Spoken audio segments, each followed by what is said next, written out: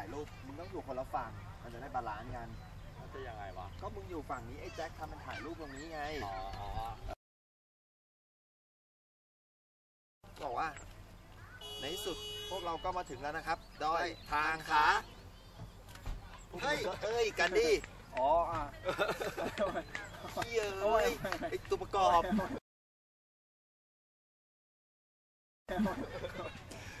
แล้วแล้วพวกเราก็มาถึงแล้วนะครับ ดอยทางขาเอ้ยเฮ้ย พูดเด็ดเฮ้ย ทางขาดอยอาขา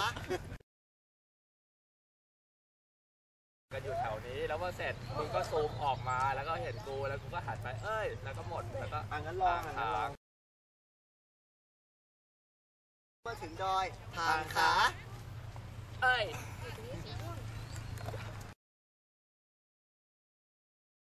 ตกใจขึ้นดีด้วยเอ้ยมึงก็ต้องตกใจด้วย ก็กูตกใจด้วยไงแต่กูไม่พูดเพราะกูเป็นคนพูดก่อนแล้วอ๋อแล้วพวกมึงก็ตะโกน เอ้ย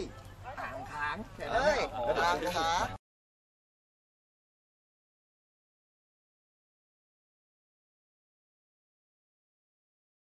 action แล้วแล้วพวกเราก็มาถึงดอย ถ่างขา